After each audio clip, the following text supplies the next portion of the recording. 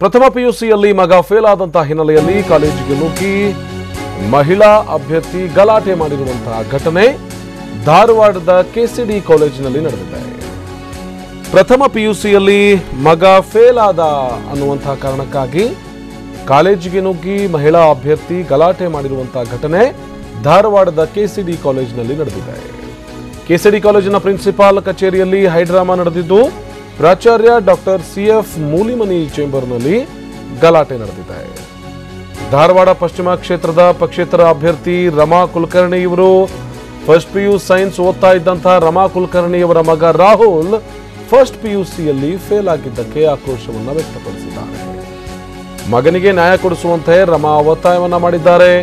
ಅಂಬೇಡ್ಕರ್ ಭಾವಚಿತ್ರ ನೋಡಿ ಅವಾಚ್ಯ ಶಬ್ದಗಳಿಂದ ನಿಂದಿಸಿದ್ದಾರೆ.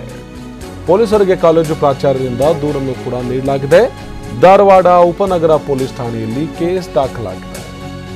ತಮ್ಮ ಮಗ ಪಿಯುಸಿ ಫಸ್ಟ್ ಪಿಯುಸಿಯಲ್ಲಿ ಫೇಲ್ ಆದ ಅನ್ನುವಂಥ ಕಾರಣಕ್ಕಾಗಿ ಧಾರವಾಡ ಮತಕ್ಷೇತ್ರದ ಪಕ್ಷೇತರ ಅಭ್ಯರ್ಥಿ ರಮಾ ಅನ್ನುವಂಥ ಮಹಿಳೆ ಕಾಲೇಜಿನ ಪ್ರ- ಪ್ರಿನ್ಸಿಪಾಲ್ರ ಚೇಂಬರ್ಗೆ ನುಗ್ಗಿ ಗಲಾಟೆ ಮಾಡಿರುವಂಥ, ಹೈಡ್ರಾಮಾ ಸೃಷ್ಟಿ ಮಾಡಿರುವಂಥ ಘಟನೆ ಧಾರವಾಡದ ಕೆಸಿಡಿ ಕಾಲೇಜಿನಲ್ಲಿ ನಡೆದಿದೆ.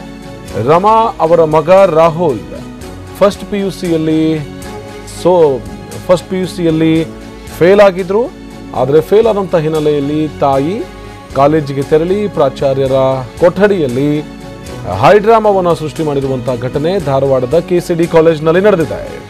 ಅಷ್ಟೇ ಅಲ್ಲದೆ ಅಂಬೇಡ್ಕರ್ ಅವರ ಭಾವಚಿತ್ರವನ್ನ ನೋಡಿ ಅವಾಚ್ಯ ಶಬ್ದಗಳಿಂದ ನಿಂದಿಸಿದ್ದಾರೆ ಎನ್ನುವಂತಹ ಆರೋಪ ಕೂಡ ಅವರ ಮೇಲಿದೆ.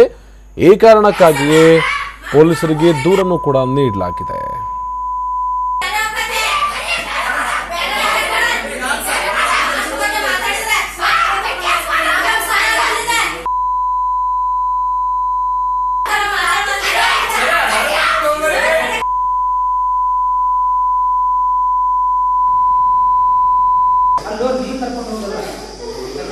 लास्ट में बन गया था ऐसी बातें मत करो जो साफ़ करिए नींद गुद की कोई ना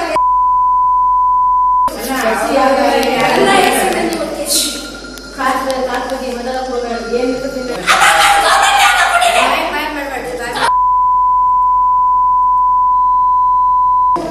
बंदा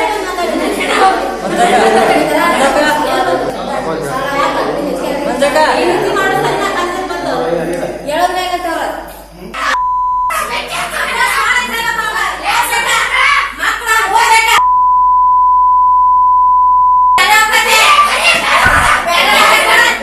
ಈ ಬಗ್ಗೆ ಮಾಹಿತಿಯನ್ನು ಕೊಡೋದಕ್ಕೆ ನಮ್ಮ ಪ್ರತಿನಿಧಿ ನರಸಿಂಹಮೂರ್ತಿ ಪಾಟೀಲ್ ದೂರವಾಣಿ ಸಂಪರ್ಕದಲ್ಲಿ ಜಾಯ್ನ್ ಆಗಿದ್ದಾರೆ. ನರಸಿಂಹಮೂರ್ತಿ, ಪಕ್ಷೇತರ ಅಭ್ಯರ್ಥಿಯಾಗಿದ್ದುಕೊಂಡು ಈ ರೀತಿಯಾದಂತಹ ಹೈಡ್ರಾಮಾ ಸೃಷ್ಟಿ ಮಾಡೋದು ತಮ್ಮ ಮಗ ಫೇಲ್ ಆಗಿದ್ದ ಅನ್ನುವಂಥ ಕಾರಣಕ್ಕಾಗಿ ಕಾಲೇಜಿಗೆ ನುಗ್ಗಿ ಗಲಾಟೆ ಮಾಡೋದು ಎಷ್ಟು ಸರಿ ನರಸಿಂಹಮೂರ್ತಿ?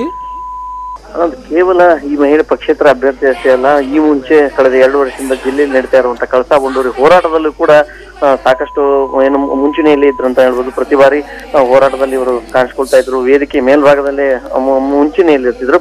ಇಂತ ಒಬ್ಬ ಮಹಿಳೆ ಇದೀಗ ಪಕ್ಷೇತರ ಅಭ್ಯರ್ಥಿಯಾಗಿ ಪಶ್ಚಿಮ ಕ್ಷೇತ್ರಕ್ಕೆ ಸ್ಪರ್ಧೆಗೆ ಇಳಿದಿದ್ದಾರೆ. ಆದ್ರೆ ಇವರ ಒಂದು ನಿಜ ಕೂಡ ಅವರ ಒಂದು ವರ್ತನೆ ನೋಡಿದ್ರೆ ನಿಜ ಕೂಡ ಎಂತರಿಗೂ ಕೂಡ ಆಶ್ಚರ್ಯ ಆಗುತ್ತೆ. ಯಾಕಂದ್ರೆ ತಮ್ಮ ಏನು ಮಗ ಪಿ ಯು ಸಿ ಮೊದಲನೇ ವರ್ಷದಲ್ಲಿ ಫೇಲ್ ಆಗಿದ್ದಾನೆ ಅನ್ನೋ ಒಂದು ಕಾರಣಕ್ಕೆ ಹೋಗ್ಬಿಟ್ಟು ಪ್ರಾಚಾರ್ಯರಿಗೆ ಬೈಯೋದು, ಅದು ಅವಾಚ್ಯ ಶಬ್ದಗಳಿಂದ ಬೈಯೋದು. ಅದಾದ ನಂತರ ಅಲ್ಲಿ ಅವರ ಚೇಂಬರ್ ಮುಂದ್ಗಡೆ ಮಲಗಿಬಿಟ್ಟು ಪ್ರತಿಭಟನೆ ಮಾಡೋದು. ಇದನ್ನೆಲ್ಲ ನೋಡಿ ಎಲ್ಲರಿಗೂ ಕೂಡ ಆಶ್ಚರ್ಯ ಆಯ್ತು. ಅದಲ್ಲದೆ, ಇಲ್ಲಿ ಮುಖ್ಯವಾಗಿ ಗಮನಿಸಬೇಕಾಗಿದ್ದು ಏನಂದ್ರೆ ಅಂಬೇಡ್ಕರ್ ಅವರ ಭಾವಚಿತ್ರವನ್ನ ಸಾಮಾನ್ಯವಾಗಿ ಎಲ್ಲಾ ಕಾಲೇಜ್ ಕೊಠಡಿಗಳಲ್ಲಿ ಹಾಕಿರ್ತಾರೆ ಚೇಂಬರ್ ಅಲ್ಲಿ ಹಾಕಿರ್ತಾರೆ.